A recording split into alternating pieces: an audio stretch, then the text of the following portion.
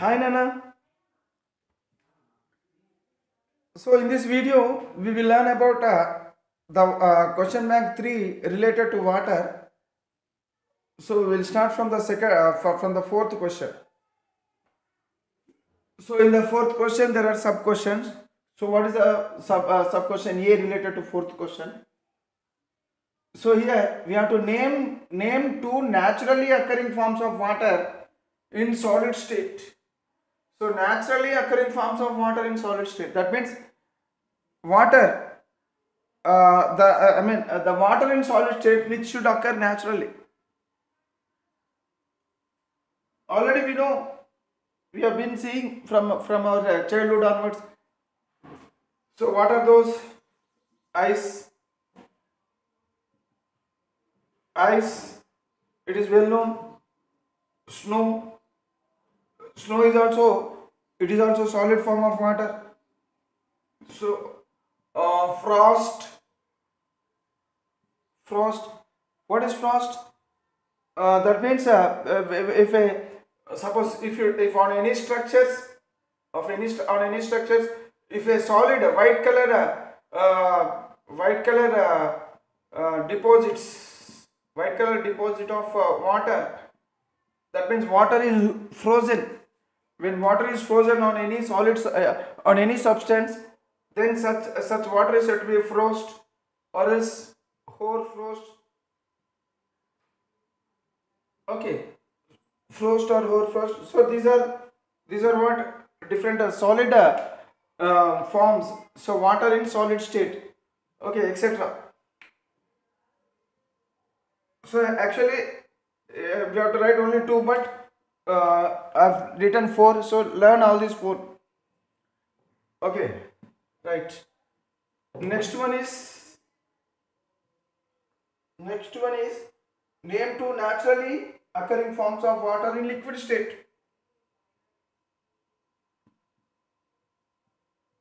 Na- name two naturally occurring forms of water in liquid state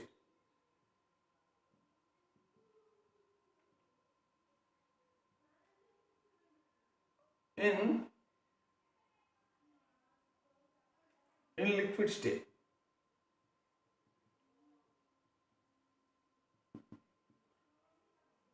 So in solid state we have seen some examples and even in liquid state so in liquid state uh, we can say uh, streams so water in streams rivers rivers okay oceans seas oceans. Okay. And also moisture in soil. So moisture so actually generally uh, in soil also you will find water in liquid state. Okay. So uh, the water present in the soil in liquid state it is called as moisture. It is called as moisture. Even dew. Okay dew. Dew. Suppose suppose on uh, leaves in the winter seasons particularly uh, in winter season on the parts of the leaves or else any plant or else on any structure you will find what? Droplets of water. So liquid droplets of water. So that li- liquid droplets of water is said to be dew. Sorry dew. Dew. Okay dew. Right Next one is name two naturally occurring, occurring forms of water in gaseous state. In gaseous state, okay, the same question. Okay, suppose if it is in gaseous state, so now it is C.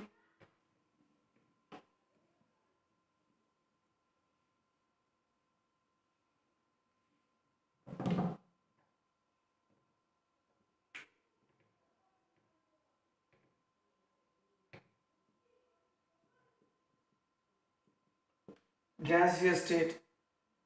So examples.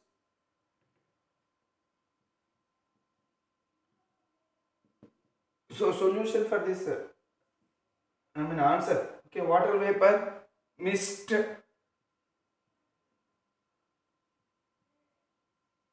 water vapor okay mist mist okay uh, fog etc so mist is gaseous form of water. Moisture is liquid form of water. Moisture is liquid form. It is liquid form of water whereas mist is gaseous form of water. Okay. Uh, water vapor anyhow we know even fog fog is also it is a gaseous form or else gaseous state of water. Okay right. Now we will go with the fifth answer. Fifth question. What is fifth question? Natural water is usually impure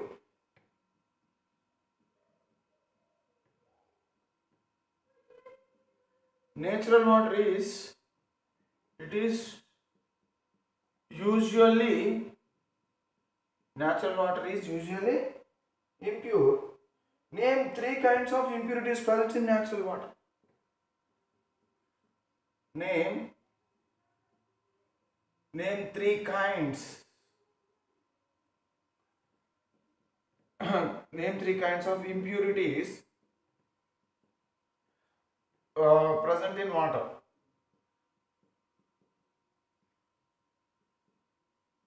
Okay, name three kinds of impurities present in water. Okay, right. So, what is the answer for this one?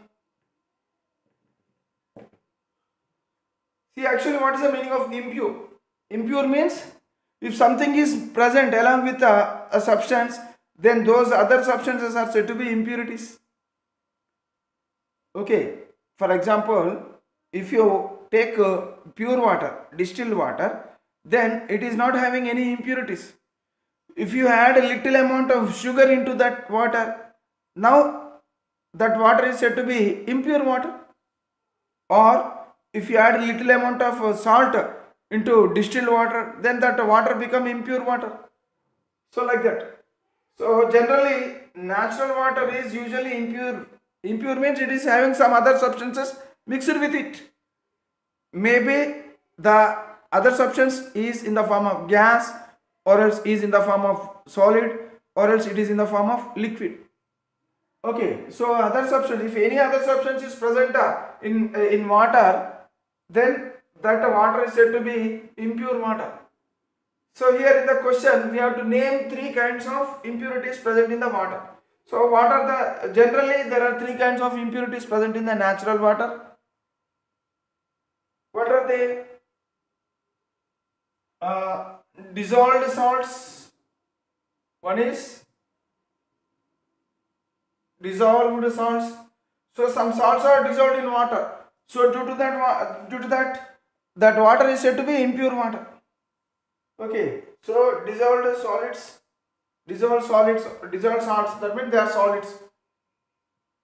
Dissolved solids, okay, such as example, example, common salt, common salt, it is a, it is present in the dissolved form in water, natural water. Okay, dissolved solids. Next, uh, dissolved gaseous impurities dissolved gases. Okay. So generally the gases are dissolved? Example if you see carbon dioxide gas is dissolved in water. Oxygen is dissolved but very very little amounts only. Okay. So generally oxygen is said to be insoluble in water but but it is present uh, only in very little amounts in dissolved form. Okay, so that means some dissolved gases. These dissolved gases make the water to be uh, impure. Dissolved solids make the water to be impure. Okay. And uh, some suspended impurities. Suspended impurities. Suspended matter or else suspended impurities. What is the meaning of suspended? Suppose, suppose this is water suppose if this is water okay. So then if it is dissolved then we cannot see they can we cannot see the dissolved uh, substances. Okay. Uh, if it is dissolved we cannot see. So if it is suspended what happens? The suspended substances we can easily see.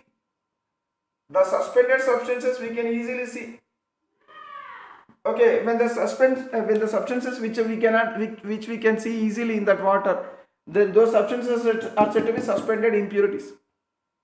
Generally what type of impurities are suspended impurities? Example sand sand clay etc are said to be suspended impurities. Okay so suspended impurities uh, are also present uh, uh, in the uh, in the naturally occurring water. So that is why naturally occurring water is uh, it is usually called as impure water.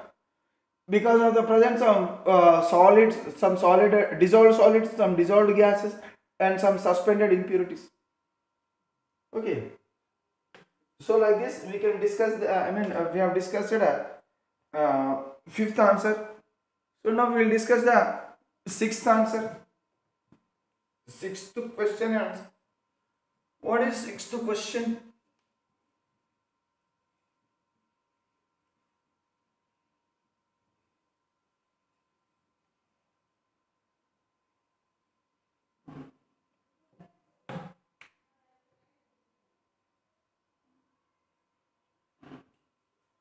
why rainwater is in sixth question there are two sub questions why sub question a why rainwater. Why? Rainwater is called purest kind of naturally occurring water.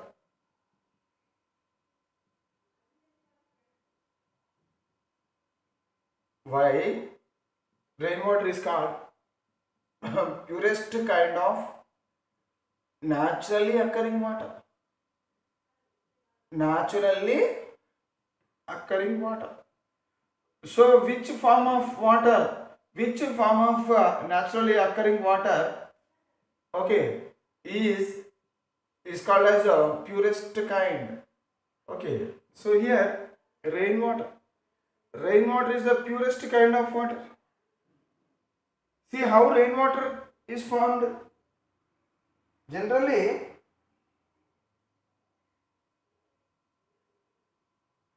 generally, uh, uh, Uh, uh, how rain is occurred. Suppose if this is the sea or river or else anything, so that water what happens? It evaporates due to high temperatures. That water it evaporates and enters into the atmosphere slowly it reaches to the upper portions of the atmosphere as it moves as it moves to the upper portion during that what happens? This water will this water vapor will slowly cool down. This water vapor slowly uh, cool down. And finally it converts into it converts into what? Clouds.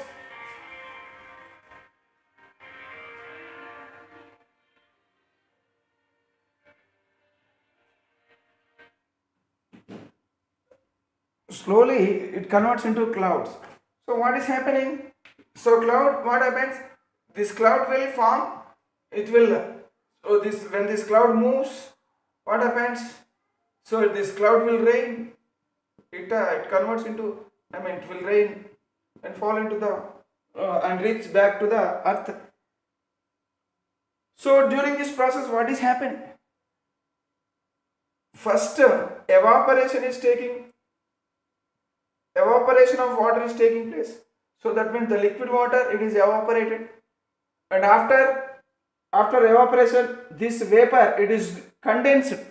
It is condensed into uh, it is condensed into cloud or rain. So that cloud is nothing but uh, it is nothing but uh, uh, water only. Okay. So that means this after evaporation after evaporation evaporation and condensation is taking place.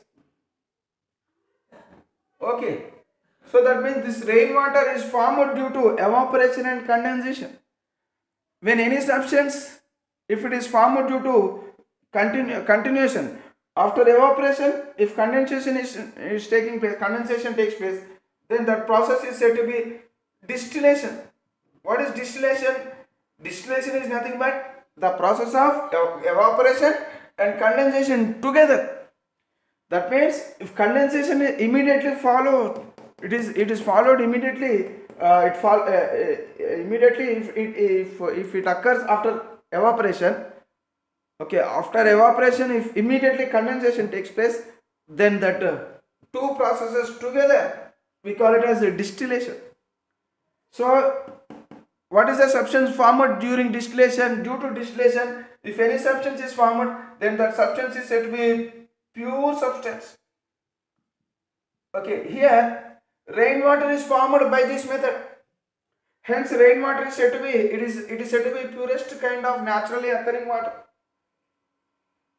Rainwater, how rainwater is caused? Rainwater is caused due to evaporation and then condensation of water from its natural sources.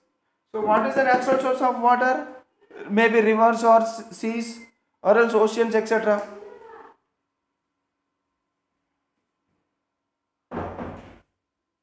So, from their natural source, that water is evaporated and then condensed.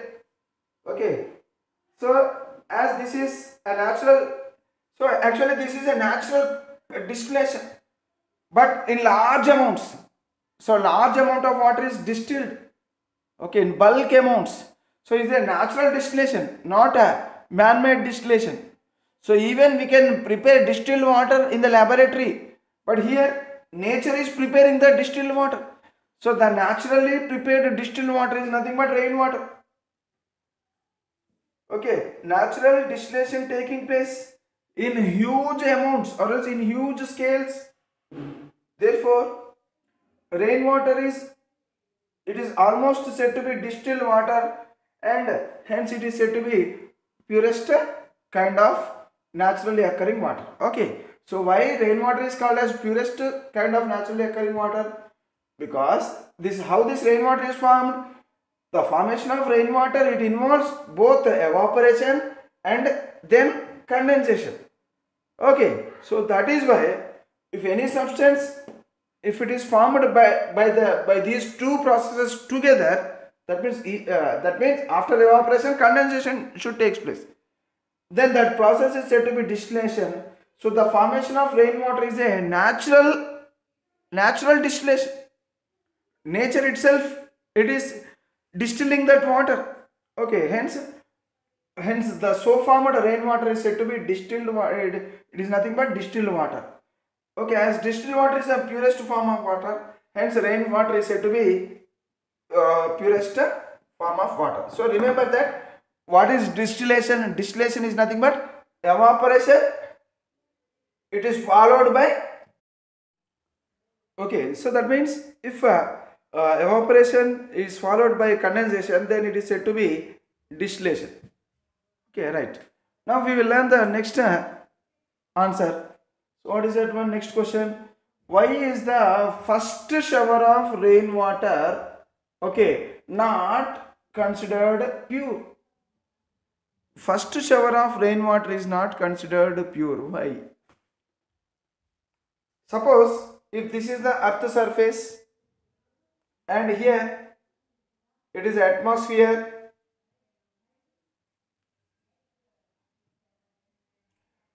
suppose this is the earth surface and here it is air air or atmosphere. So in the air what do you find? You will find a dust you will find several gases okay several gases and uh, some other uh, particles like uh, uh, moisture or else anything. So all these are together they form atmosphere or else air. So uh, so here at some at some heights so clouds are formed. Now this cloud will rain. This cloud will rain. So what happens? The rain. So the first, this is the first rain, first shower So the rain, uh, the cloud will rain continuously. So the first shower which is coming from uh, which is coming from the atmosphere, I mean through the atmosphere.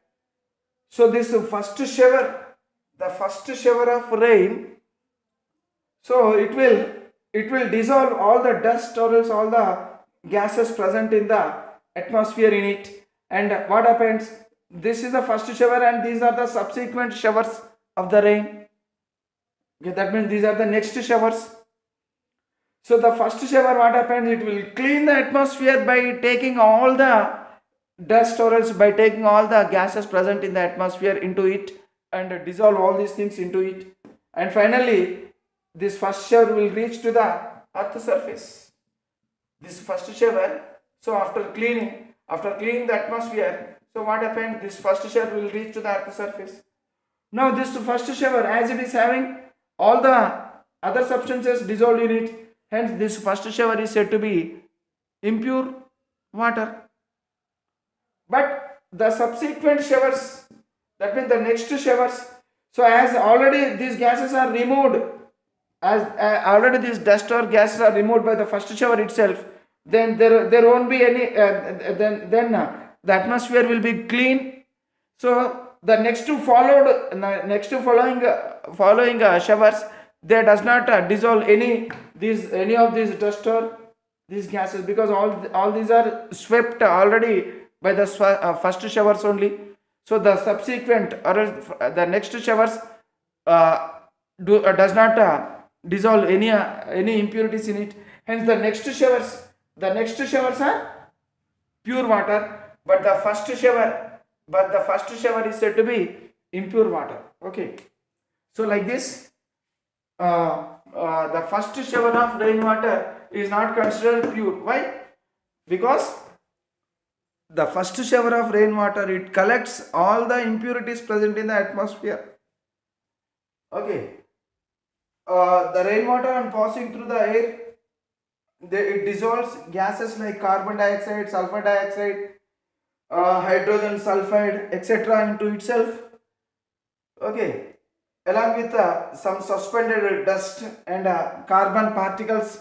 Even carbon particles are also. So the first rain it contains what? It contains uh, the gases like carbon dioxide, sulfur dioxide, hydrogen sulfide. Okay, dust particles and carbon particles. Okay, carbon particles. Hence, the initial showers of rainwater are generally impure. Okay, so like this, we can uh, answer for this question. Okay, so if this is the first shower, then these are the next showers of the rain. Okay, the subsequent showers they are they are not they are pure shower they, because that they does not dissolve any impurities into it. So these are all the impurities which are dissolved in the first shower itself.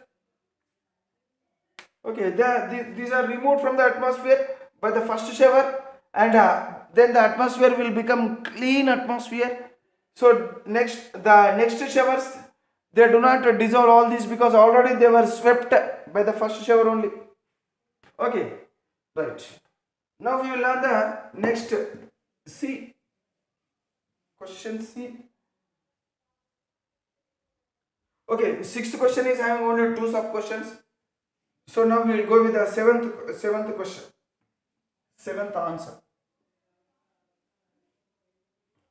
What is the seventh question?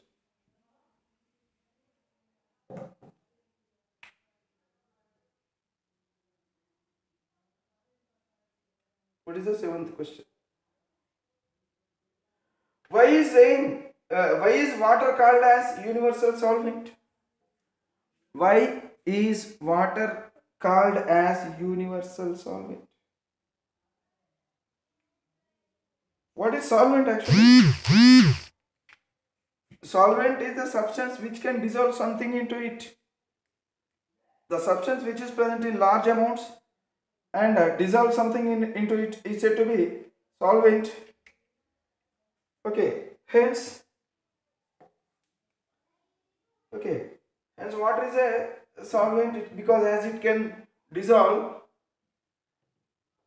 okay, as it as it can dissolve some substance, some other substance into it.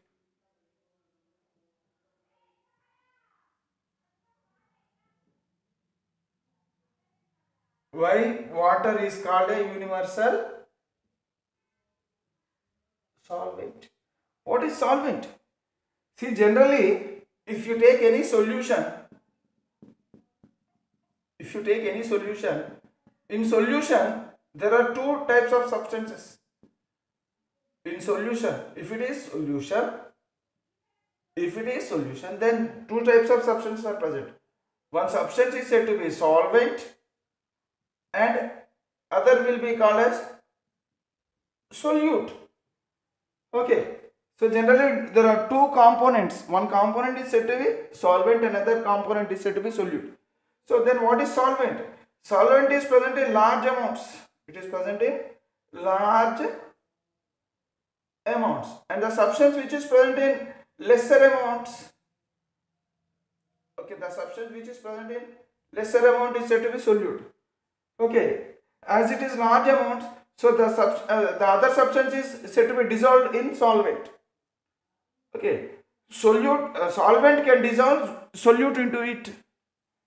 Okay, so like this, the substance which is present in larger amounts, it will dissolve some other substance into it. Okay, the other substances are said to be solutes. Okay, solute may be uh, th- there may be one solute or else maybe two solutes or else maybe more than one solute more, maybe three or four but solvent only uh, will will be only one suppose if you dissolve salt in water then salt is said to be solute and water is said to be solvent. Along with salt if you dissolve sugar also then water is said to be solvent and salt and sugar both are said to be solutes. There are two solutes and one solvent.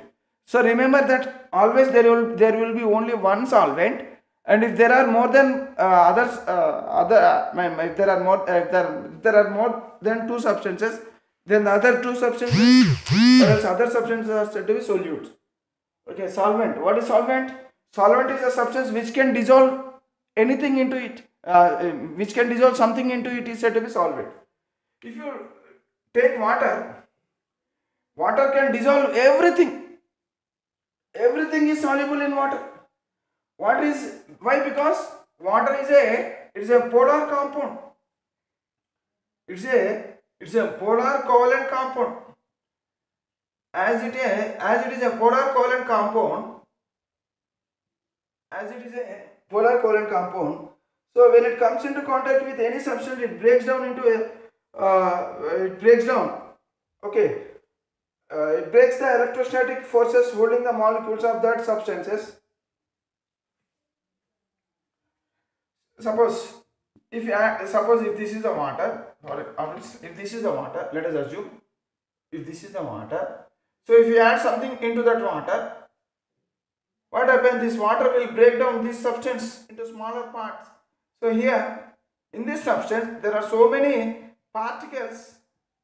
There are so many particles in this substance there are so many particles and each and every particle is held by other particles that means one particle it is held by other particle by some forces some force of attraction. So this particle and this particle this particle is held by this particle and even this particle is held by this particle. So that like that means between the particles there will be forces of attraction. Those forces of attraction are said to be electrostatic force of attraction. Electrostatic force of attractions okay so what happens see water water what happens this is if this is the water and this is the water so water will break suppose if this is one particle and this is another particle so now this is the water which is surrounding these particles so there are force of attractions. Let us assume, let us think that these two are different particles and between these two particles there are forces of attraction. Forces of attraction. So this water, what does it do? This water will try to pull this particle this side and this water will try to pull this particle that side. Due to this what happened? The force of attraction between the particles will break down. So the electrostatic force of attraction between the particles will break down. Thus the molecules what happen they break okay they break and loose from the substance and hence dissolve in water. So slowly what happens suppose this is the large size particle and I have added that large size particle into this. What happens slowly. The water which is surrounding this particle it will try to pull out. So this water this water will try to pull out the particles. It will pull out the particles small particles from that uh, substance and slowly what happens so these particles they are they are broken from this substance. Because water as it is a polar covalent compound it has that ability to break the electrostatic force of attraction of these particles present in this substance. See actually these particles they are present in this substance initially but they are pulled out. They are pulled out by the water into the uh, into that water. So what happens? They will slowly dissolve in that they will slowly dissolve in that water. So what happens the size of the particle decreases. The size of the particle decreases. Again again the new particles the new the particles which are present in the new surface again they are pulled into the water. Because because the force of attraction between the particles there are force of attraction.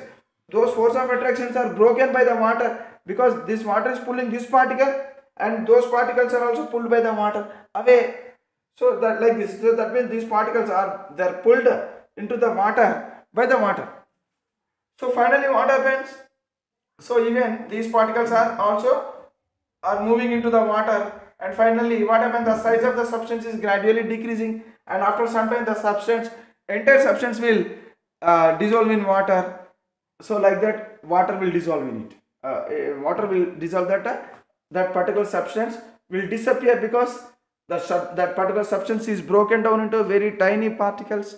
And finally all those particles they mix in the water and now a solution is formed okay. As water can dissolve any substance into it hence it is said to be universal solvent. Okay. It can dissolve even plastic also it can dissolve everything wood uh, everything. But it takes some time. It may take uh, may, it may take one month or one year or uh, 10 years or else 100 years. But water can dissolve everything. Everything can be dissolved in water but it, it takes some time. As water can dissolve anything and everything hence it is said to be universal solvent. Okay water is said to be universal solvent because it can dissolve anything and everything. So here how how it is dissolved? So initially the big size particle the big size particle is broken. So from these big size particles so small particles they are they are pulled out. Okay they are pulled out from the large size particle. So th- by breaking this large size particle into smaller particles and these particles are pulled out. They are pulled into water and due to this what happened? The size of the large size particle is decreased. And again the new particles are pulled into the water. And again further further the size of the particle decreases. And this process will continue all the uh, till all the uh, s- that uh, part all that uh, that substance uh, will uh, will uh, break down into small particles and enter into the water so this process is said to be dissolution. Okay. So as water can dissolve anything and everything it is said to be universal solvent. So what is happening during the process of dissolution? So electrostatic forces of attraction between the particles they are broken down. They are broken down and these particles will enter into the water from the large uh, large size particle. Okay. These particles are forming from large size particles right. So in this way we can explain the seventh answer. Okay. If you if you have any doubt you may call me. You may call me and i will explain you. Don't worry. Okay. Right. So if you have any doubt you may call. So next one, what is that? Next one, eighth answer.